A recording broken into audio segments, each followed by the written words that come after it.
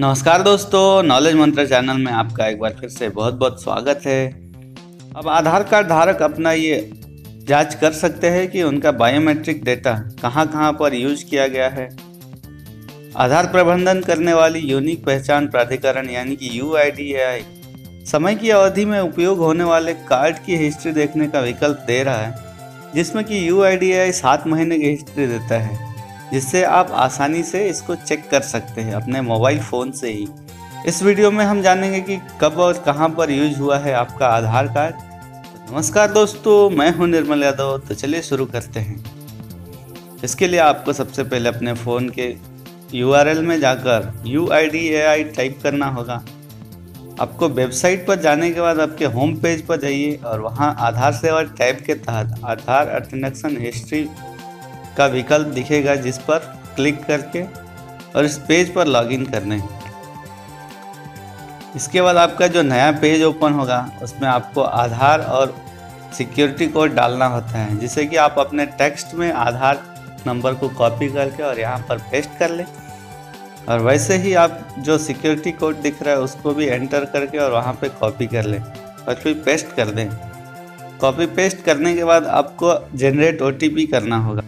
ओ generate होते ही आपके मोबाइल फ़ोन पे ओटीपी आ जाएगा, इसके बाद आपको नए पेज में उस प्रमाणीकरण के प्रकार का चयन करना होगा, जिसे आप देखना चाहते हैं। जैसे कि U I D A I biometrics जनसांख्यिकी ओ बहुत सारे विकल्प दे रहा है जो कि आपको आधार द्वारा किए गए प्रत्येक प्रविष्टि की जाँच के लिए इन सभी विकल्प को चुन सकते हैं। जिस तारीख से आप अपने आधार का इतिहास जानना चाहते हैं, उसे दर्ज करें।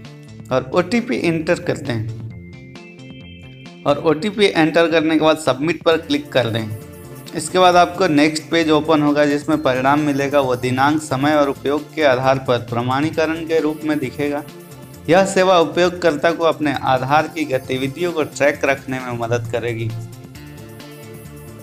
तो इस प्रोसेस को फॉलो करके आप भी अपने आधार हिस्ट्री को चेक कर सकते हैं कि आपका आधार कार्ड कब और कहाँ पर यूज़ हुआ है। दोस्तों, इस वीडियो में इतना ही। अगर आपका कोई सुझाव या शिकायत हो तो मुझे कमेंट करें कमेंट बॉक्स में। अगर आपको ये जानकारी अच्छी लगी हो तो इसको लाइक कीजिए और अपने दोस्तों के साथ शेयर कीजिए। और नॉलेज मंत्र चैनल को सब्सक्राइब कीजिए, ताकि मैं जो भी नए वीडियोस डालूं उसके नोटिफिकेशंस आपको सबसे पहले मिल जाए।